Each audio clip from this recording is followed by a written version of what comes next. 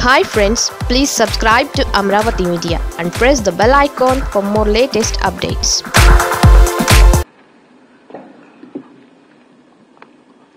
ఈ one not eight వాహనాలకు సంబంధించి న్యూ వెహికల్కి వచ్చి వారు కోట్ చేసింది ఫస్ట్ రెండు లక్షల నాలుగు వేల డెబ్బై నాలుగు. రెండు లక్షల నాలుగు వేల డెబ్బై నాలుగు రూపాయలు. దానికి సంబంధించి మేము రివర్స్ టెండరింగ్కి వెళ్ళాము. రెండు లక్షల నాలుగు వేల డెబ్బై నాలుగు రూపాయలు వాళ్ళు కోట్ చేసిన తర్వాత మేము రివర్స్ టెండరింగ్కి వెళ్తే ఆ రివర్స్ టెండరింగ్లో లక్ష డెబ్బై ఎనిమిది వేల డెబ్బై రెండు రూపాయలకు మేము రివర్స్ టెండరింగ్లో ఫైనలైజ్ చేయడం జరిగింది. అంటే వాళ్ళు కోట్ చేసింది రెండు లక్షల నాలుగు వేల డెబ్బై నాలుగు రూపాయలు. అయితే మేము చేయగలము అని చెప్పి వారు బిడ్ కోట్ చేస్తే మేము దానికి సంబంధించి లక్ష డెబ్బై ఎనిమిది వేల డెబ్బై రెండు రూపాయలకు మాత్రమే వారికి సంబంధించి మేము ఆ యాక్సెప్ట్ చేయడం జరిగింది. దాంతో ప్రభుత్వానికి దాదాపుగా ఒక వెహికల్కు ఇరవై ఆరు వేల రూపాయలు మేము అనుసరించినటువంటి విధానం ద్వారా ఇరవై ఆరు వేల రూపాయలు ఆదా చేయడం జరిగింది. ఇది న్యూ వెహికల్ విషయంలో. ఓల్డ్ వెహికల్ విషయంలో రెండు లక్షల యాభై మూడు వేల ఐదు వందల అరవై ఆరు రూపాయలు వాళ్ళు కోట్ చేశారు. అంటే న్యూ వెహికల్కి రెండు లక్షల నాలుగు వేల డెబ్బై నాలుగు ఓల్డ్ వెహికల్కి రెండు లక్షల ఇరవై ఒక్క వేల రెండు వందల యాభై ఏడు రూపాయలు. అంటే ఆ కొంత మొత్తం ఎందుకు పెరుగుతా ఉందంటే పాత వెహికల్కి మెయింటెనెన్స్ కానివ్వండి అదనపు డీజిల్ ఖర్చు కానివ్వండి రిపేర్లు కానివ్వండి కొంత ఎక్కువగా ఉంటాయి.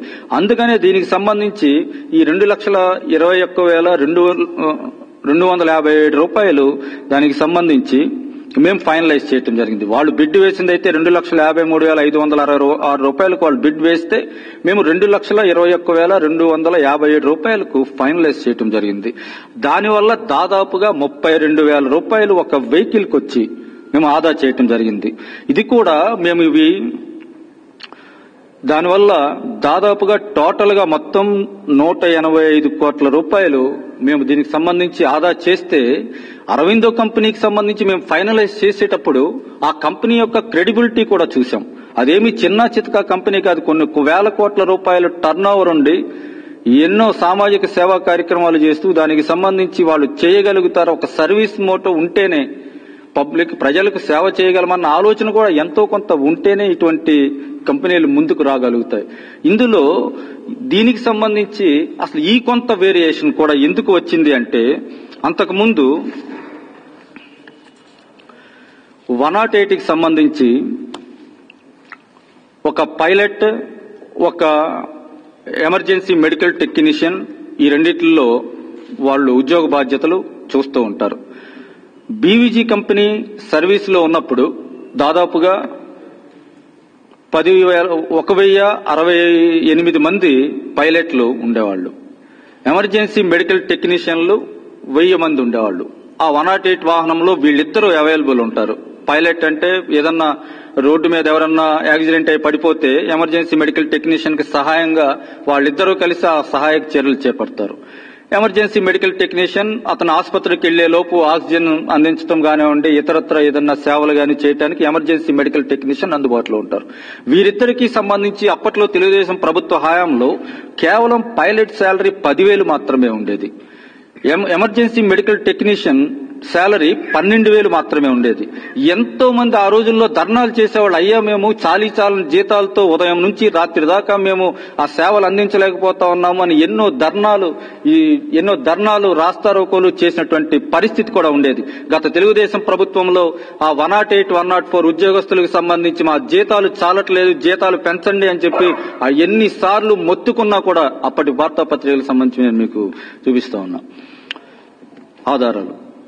కూడా పట్టించుకున్నటువంటి పాప అనుకోలేదు. అటువంటి పరిస్థితుల్లో one naught eight one naught ఫోర్కి సంబంధించి వారందరికీ కూడా జీతాలు పెంచి ఇవ్వాలన్న ప్రభుత్వ సూచన మేరకు ఇప్పుడు పైలట్కి అయితే ఓల్డ్ వెహికల్ పైన ఎందుకంటే ఓల్డ్ వెహికల్ అంటే ఆ- పైలట్కి సీనియారిటీ ఉంటుంది కాబట్టి దాదాపుగా ఇరవై ఎనిమిది వేల రూపాయలు అంటే పది వేల నుంచి ఇరవై ఎనిమిది వేల రూపాయలు వారికి అంతకుముందు ఒక వెయ్యి అరవై ఎనిమిది మంది మాత్రమే పైలట్లు ఉంటే ఇప్పుడు పదహారు వందల తొంభై రెండు మందికి పైలట్స్కు దాదాపుగా ఇరవై ఎనిమిది వేల రూపాయలు శాలరీ చెల్లించడం జరుగుతూ ఉంది అదేవిధంగా ఎమర్జెన్సీ మెడికల్ టెక్నీషియన్కు ఓల్డ్ వెహికల్లో సర్వీసులు అందజేస్తున్న వారికి ఎక్స్పీరియన్స్ ఉంటుంది కాబట్టి వారికి దాదాపుగా ముప్పై వేల రూపాయలు జీతం అంటే అంతకుముందు పన్నెండు వేల రూపాయలు ఇస్తే ముప్పై వేల రూపాయలు జీతం పెంచడం జరిగింది వారందరికీ కూడా.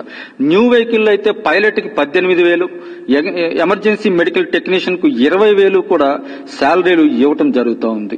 ఈ విధంగా పెరిగినటువంటి శాలరీలు ఒక కారణమైతే మరొకటి ఏదైతే మేము ఒప్పందం చేసుకున్నామో ఆ ఒప్పందంలో చాలా క్లియర్ కట్గా మేము ఎంత పారదర్శకత్వం పారదర్శకత్వంతో మేము ఆ ఒప్పందం చేసుకున్నామంటే వారందరికీ సంబంధించి ఏ కంపెనీ తరపున ఎవరు ఒప్పందం చేసుకున్నా కూడా ప్రతి సంవత్సరం ఒక ఫైవ్ పర్సెంట్ ఫోర్ పర్సెంట్ వారికి సంబంధించి ఆ రేట్ ఎన్హాన్స్ అవుతూ ఉంటుంది.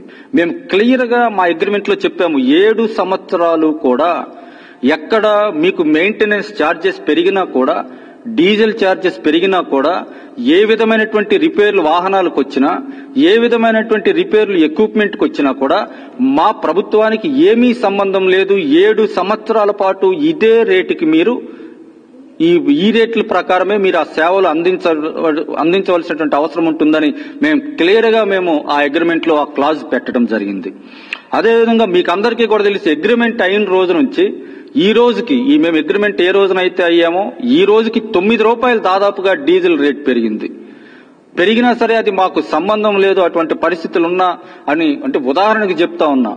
దానికి సంబంధించిన ముందే మేము ఆ క్లాజ్ పెట్టడం వల్ల పెరిగిన డీజిల్ రేటు గాని వాహనాలు కలిగే వ్యయం గాని లేకపోతే ఏడు సంవత్సరాల్లో ఇంకా జీతాలు పెంచాల్సి వచ్చినా లేకపోతే నిర్వహణ వ్యయం పెరిగినా కూడా మాకు ఏ విధమైనటువంటి సంబంధం లేదు అని చెప్పి మేము ముందే మేము ఆ క్లాజ్ పెట్టడం జరిగింది. ఇంత పారదర్శకంగా మేము ఈ వాహనాల కొనుగోలుకు సంబంధించి కేంద్ర ప్రభుత్వం ద్వారా నిర్వహించేటువంటి ఆ జంప్ ద్వారా వాహనాలు కొని సర్వీస్ ప్రొవైడర్కి అయితే మేము అత్యంత పారదర్శకంగా మూడు సార్లు మేము టెండర్ పిలిచి మూడోసారి మేము ఆ కాంట్రాక్ట్ ఇంత పారదర్శకంగా మేము ఫైనలైజ్ చేస్తే ఎందుకంటే అందులో తొంభై శాతం వరకు వారి ఖర్చులకే ఆ శాలరీస్కే పోతా ఉన్నాయి.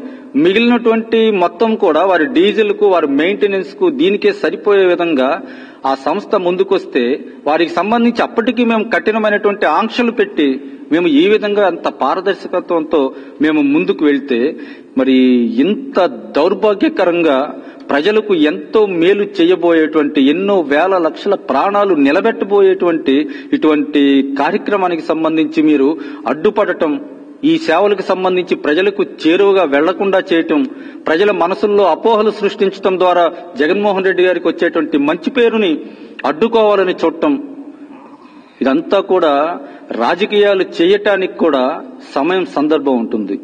మీకు సంబంధించి రాజకీయాలు చేయాలంటే వేరే వేరే సందర్భాలు చూడాలి కానీ ఇటు ప్రజల ఆరోగ్యాలకు ప్రాణాలకు సంబంధించినటువంటి అంశాలను కూడా రాజకీయం చేసి రాజకీయ లబ్ధి పొందాలని చూడటం అనేది నిజంగా ఇది చాలా దురదృష్టకరం.